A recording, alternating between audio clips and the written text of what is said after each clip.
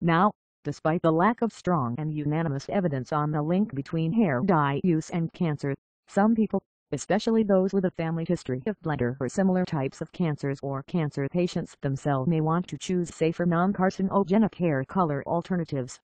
Again, although no strong link has been found between cancer and hair dye use, it would be safe to refrain from using the following hair dyes, to minimize the risk of cancer progression.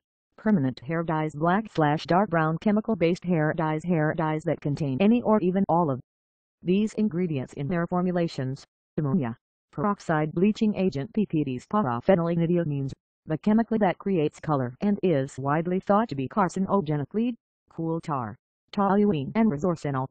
Some of the above ingredients have been banned in some countries, but depending on your area, it's possible that brands still use the above ingredients in their hair dye formulas.